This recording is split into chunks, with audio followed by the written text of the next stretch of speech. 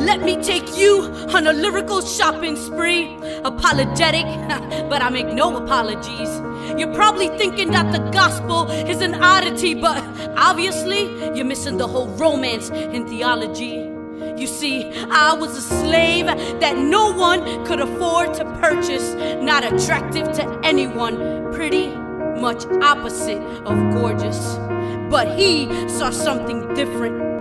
He saw past the fake facade, past the makeup, the cover up, and the concealer. He is the ultimate revealer, the ultimate redeemer, paying for me with a holy currency blood. What a high price he paid for this here slave. Three nails, one cross, three day layaway. Stamped me with a no return policy.